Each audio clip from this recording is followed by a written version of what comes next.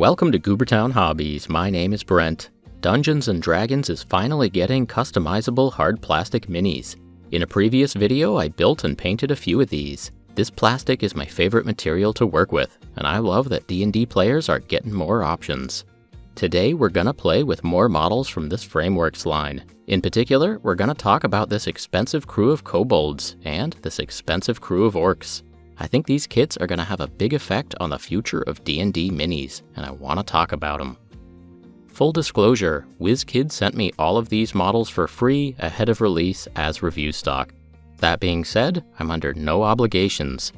I think some of these minis are expensive, but basically worth it. Some of them are expensive and not quite worth it, and some of these were priced by an absolute madman. I think the best value are the player characters. In the US, these are $15.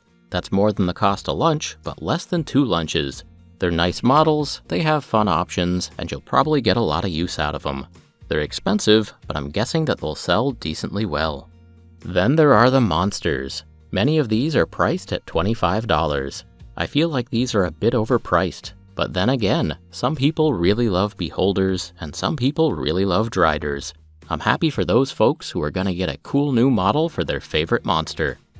Okay, and then we have the multi-packs. There's a pack of 7 orcs for $50, and there's a pack of 7 kobolds for $50. That's a lot of lunch.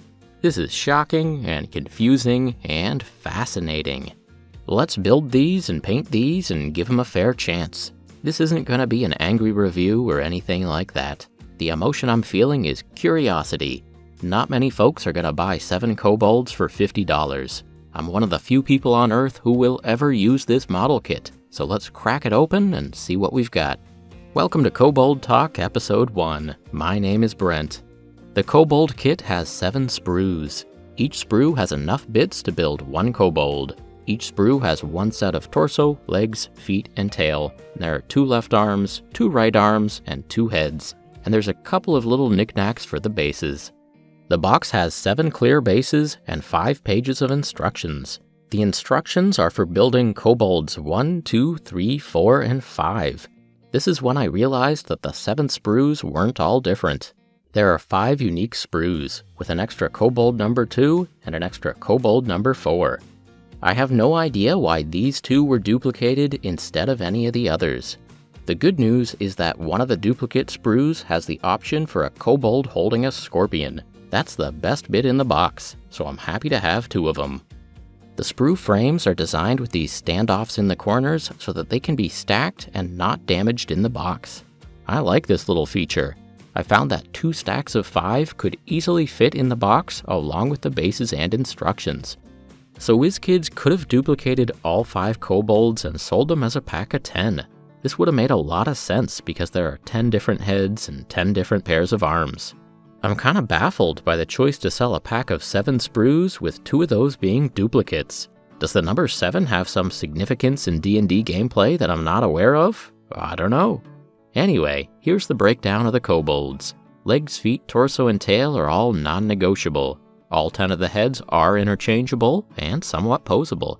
The arms all have a nice clean joint at the shoulder, so the arms are all interchangeable and somewhat posable too. Each model comes with a mound of dirt for the figure to stand on to make the base more interesting. I prefer models without this, but some people like them. The sprues have a handful of extra bits, and they're all jars. There's a gimmick that the dungeon master can number the kobolds based on the number of jars or urns glued to their base. So Magnus, the human fighter, can say that they're attacking Kobold 3, and everybody is clear that Magnus is attacking the kobold with three jars glued to the base. So there's a ton of empty space on these sprues, and a lot of the bits that are included are just tiny jars and urns. Some of the player character minis had unique and interesting bits, but these kobolds all just have jars and urns.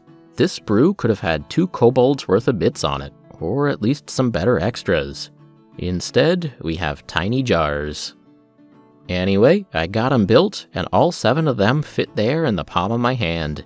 Kobolds are small humanoids, these minis are scaled correctly. They match with a kobold that I have from the old D&D minis game. Correct scale or not, this is priced at $50. This is kind of a feel-bad moment right here. It's hard for people to get excited about polystyrene minis when this is the kind of deal that's on offer. It sounds kinda silly, but I think that this Kobold kit is gonna have a long-term effect on the future path of D&D minis. We'll get these painted up and take a better look at them in just a minute, but first, let's build the orcs. The orc kit is also 7 models. Orcs are medium-sized humanoids, and this kit clearly has more mass. Again, this kit is 5 different models with 2 duplicates. One of the orcs is special and is spread across two sprues because he has options for a cape and larger weapons. Again, the legs and torso are standard, and each orc has a choice of two left arms, two right arms, and two heads. Unlike the kobolds, the heads and arms are not all interchangeable. Many of them are keyed to only fit with the torso from the same sprue. These models do have a few seams that aren't hidden very well, but I was able to assemble them and make them look pretty good. I was disappointed that some of the poses don't take advantage of being multi-part kits. A few of these have flat poses that look like they would work well as a single piece cast.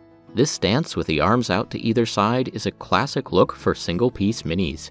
This orc model could be part of the Nolzur's Marvelous Miniatures line, or even a Ral Partha metal mini. I'm a bit disappointed that two of this particular sprue came in the box. These poses where the characters are holding their arms out in front of them are more three-dimensional, and they're a better use of multi-part kits. The kobolds had the jars as a numbering gimmick, and the orcs have pointy sticks. We have the option to glue pointy sticks to the orc bases in order to number them. I'm not to do that though. The practical result here is that we have a lot of pointy sticks and not much variety for cool extra bits. The orcs also have the option for plastic dirt and rocks on their bases, but I didn't use them. The supplied bases are clear, but there's no reason that we can't paint them. Each clear base says Made in China, and that kinda interferes with the point of having clear bases. Alrighty, let's get them painted. I decided to base my paint schemes off of a combination of my old pre-painted D&D minis and the 5th edition Monster Manual. The kobolds will be this orangey color with dark spots, and the orcs will be a variety of colors that I'll dull down with a brown wash. I primed them all with red-brown. This will look like blood if it's underneath flesh, and it'll look like rust if it's underneath metal. And this shade of brown can look natural for wood, cloth, leather, and dirt. So yeah, this review isn't meant to be mean or angry, I'm just fascinated by the price tag on these kits. I'm curious about what chain of events could have possibly led to $50 for 7 kobolds. $7.14 for each one of these little buddies. WizKids is the same company that produces Nolzur's Marvelous Miniatures. Those Nolzur's packs are a pretty good value, and they're great for encouraging new painters to get into the hobby. I like that WizKids has options at different price points, Nolzur's is the cheaper option, but if you're willing to spend more, you can get something from the Frameworks line. But wow, did WizKids miss with the price on these. Lots of companies are selling plastic orcs on polystyrene sprues. Let's do a quick rundown of the competition. Warlord Games has 24 orcs for $32. That's $1.33 each. Kings of War has 20 orcs for $35. That's $1.75 each. Kings of War also has some specialty squads of 10 for $35, so 350 each. Conquest has a couple of very cool modular orc kits of 12 models for $43, so that's $3.58 per orc. Even the prices for Warhammer models look okay in this comparison. Savage Orcs are $2.70 per model. The brand new and overpriced Gutrippas are $5 per model. And then Frameworks is coming in at more than $7 per orc. These are decent models, but they're also priced about two times higher than they should be. The Framework sprues do have the Dungeons & Dragons logo stamped on them, but we know from the Nolzur's line that the IP license isn't that expensive. As for kobolds, I think there's less competition on the market for kobold models than there is for orc models. But still, these Reaper Bones kobolds are about $1 per model, and they're not too bad. It's also interesting to me that the orcs and kobolds are the same price. Ordinarily, I'd expect little kobolds to be cheaper than big orcs. The orcs are overpriced, so I think that makes the kobolds extremely overpriced. Now, from one point of view, they have a similar number of bits, and it probably took the designers a similar amount of labor to make each of these kits. The cost of polystyrene is negligible. And yet, I think painters and gamers expect bigger models to be more expensive than smaller models. If we look at the pricing model from Games Workshop, for $50 you can get 10 Gut Gutrippas, or you can get 20 of the smaller Hobgrot Slittas. Intuitively, smaller models should be cheaper, and more of them should come in a box. There's an interesting discussion to be had about how much D&D players are willing to spend on minis. D&D can be played for essentially the cost of a player's handbook and a set of dice. But then folks start buying fancy dice, and dice trays, and more books, and mahogany DM screens, and minis. And there's a handful of goobers with a room full of Dwarven Forge terrain and minis for the whole monster manual. In my experience, it seems like the median D&D player has two books, three sets of dice, and a couple of minis that they haven't painted yet. I'm not sure that this crowd is ready to spend $50 on 7 kobolds. I come from the Warhammer side of the mini painting hobby, and because of that, I'm normally pretty good at rationalizing expensive plastic minis. But yeah, $50 for 7 kobolds is beyond my abilities to explain or comprehend. I was really excited about the Frameworks line, modular hard plastic minis for the D&D crowd. That's a great opportunity to get more people hooked on mini painting, and I'm all for anything that can grow the hobby.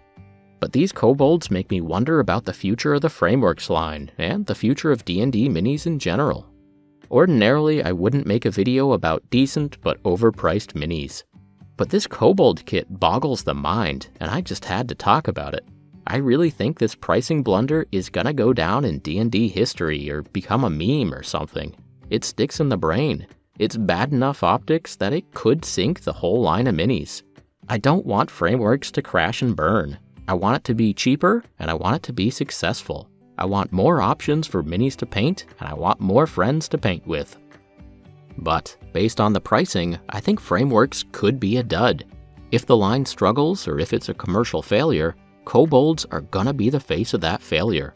That's such a silly thing to say, but I think it's true polystyrene minis for D&D is big news. To an extent, the success of the Frameworks line is gonna depend on the public perception of the most overpriced kits. The future of plastic D&D minis depends on kobolds. And you gotta admit, that's pretty funny. Of course, everybody has different finances. If you're willing to spend some cash and get some minis that nobody else is gonna have, then by all means go for it. If one of these minis is calling out to you, then that's awesome you know what you've got to do. But I've got a feeling that most people are going to see the price tag and say, heck no. I feel a bit special that I might be one of the only people to ever paint these minis.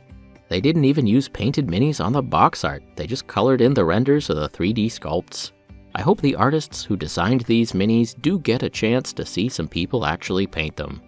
Regardless of price, I'm having fun building and painting these minis, and I'm finding a lot of details that I really like that Scorpion alone is earning a lot of goodwill.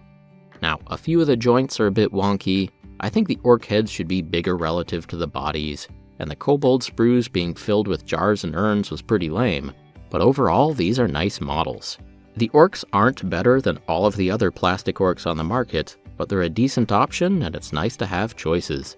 The sculptors did a pretty good job. I've gotten many hours of entertainment out of these, and they'll look good on a game board. I'm still mystified at the choice to put 7 models in each box. If you have 5 different sprues, it seems like the box size should be either 5 or 10 models. 7 minis, including 2 repeats, is madness. It shows that you need duplicates in order to get up to 7 minis, and it also shows that you're too cheap to just include a duplicate of all 5 of the sculpts. It's madness. Additionally, the person pricing these kits really should have taken a look at what their competitors were charging. They're trying to sell plastic minis at a higher price than even Games Workshop minis, and they're trying to sell them to customers who are not accustomed to Games Workshop prices. Uh, yeah, I, I don't think that's gonna work. Of course, maybe I'm wrong, and maybe these kits do sell well. Maybe hyper-expensive plastic minis become standard for D&D games. Either way, I think these kobolds are gonna have a big influence on the future of plastic D&D minis. And that's pretty funny. Oh hey, the minis are painted. I normally use bright colors on my models, but it was a nice change of pace to use the drab schemes from the Monster Manual. I think these came together pretty well. Thanks again to WizKids for sending these minis to me as review stock ahead of release. They have confidence that their products will speak for themselves, and I really respect that. If you're someone who's not too worried about price, then hey, these kits are pretty good. Well, that's it for this episode of Kobold Talk. Thank you all so much for watching.